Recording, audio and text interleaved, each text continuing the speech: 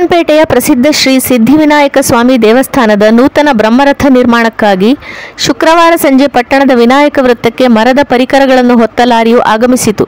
ಈ ಸಂದರ್ಭದಲ್ಲಿ ರಥ ನಿರ್ಮಾಣದ ಪರಿಕರಗಳನ್ನು ದೇವಸ್ಥಾನ ವ್ಯವಸ್ಥಾಪನ ಸಮಿತಿ ಸದಸ್ಯರು ಹಾಗೂ ಭಕ್ತಾದಿಗಳು ದೇವಸ್ಥಾನದ ಮುಖ್ಯ ದ್ವಾರದವರೆಗೂ ಚಂಡೆ ವಾದ್ಯಗಳನ್ನೊಳಗೊಂಡ ರಾಜಬೀದಿ ಉತ್ಸವದೊಂದಿಗೆ ಅದ್ಧೂರಿಯಾಗಿ ಸ್ವಾಗತಿಸಿದರು.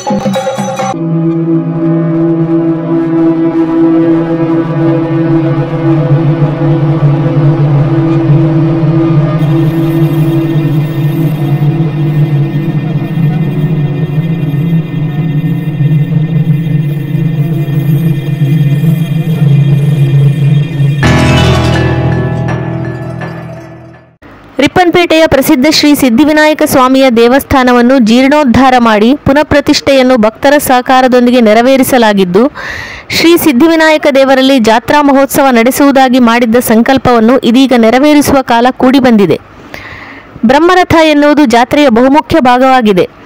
ಬ್ರಹ್ಮರಥವೆಂದರೆ ಭಕ್ತರ ಸಮೀಪಕ್ಕೆ ಬರುವಂತಹ ದೇವಸ್ಥಾನ. ದೇವಸ್ಥಾನಕ್ಕೆ ಇರುವ ಮಹತ್ವ ಈ ರಥಕ್ಕೂ ಇರುತ್ತದೆ.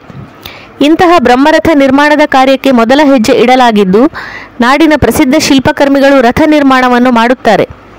ಈ ಬ್ರಹ್ಮರಥದ ನಿರ್ಮಾಣಕ್ಕೆ ಸುಮಾರು ಮೂವತ್ತೊಂದು ಲಕ್ಷ ರೂಪಾಯಿ ವೆಚ್ಚವಾಗಬಹುದೆಂದು ಅಂದಾಜಿಸಲಾಗಿದೆ. ರಥದ ವಿಶೇಷತೆಗಳು, ಉತ್ತಮ ಸಾಗುವಾಣಿ ಮರ ಬಳಸಿ ಮೂವತ್ತೊಂದು ಅಡಿ ಎತ್ತರದ ರಥವನ್ನು ನಿರ್ಮಿಸಲಾಗುವುದು. ಇದು ಅಷ್ಟಭುಜಾಕೃತಿಯಲ್ಲಿದ್ದು, ಬುಡದಲ್ಲಿ ಅಷ್ಟ ದಿಕ್ಪಾಲಕರ ಮೂರ್ತಿ, ಅಷ್ಟಗಣಪತಿ ಚಿತ್ರ ಮೂಡಿಬರುತ್ತದೆ. ಮೇಲ್ಭಾಗದಲ್ಲಿ ಸುಂದರ ಕೆತ್ತನೆಗಳನ್ನು ಹೊಂದಿರುತ್ತದೆ. ಪೀಠದ ಮೇಲೆ ಎಂಟು ಕಂಬಗಳು, ನಂತರ ಗೋಪುರ, ಪತಾಕೆಗಳು ಗೋಪುರದ ತುದಿಯಲ್ಲಿ ಕಳಸವನ್ನು ಹೊಂದಿರುತ್ತದೆ. ಈ ಸಂದರ್ಭದಲ್ಲಿ ಸಿದ್ಧಿವಿನಾಯಕ ಸ್ವಾಮಿ ದೇವಸ್ಥಾನದ ಧರ್ಮದರ್ಶಿ ಸಮಿತಿಯ ಅಧ್ಯಕ್ಷ Ishwar Shetty, MD Indiramma, Ganeshan Kamath YJ Krishna, Manjappa, Kaggali Lingappa HR Devadas DE Madhusudan, Sudheendra Hebbar, Mohan ಇನ್ನಿತರರು ಹಾಜರಿದ್ದರು.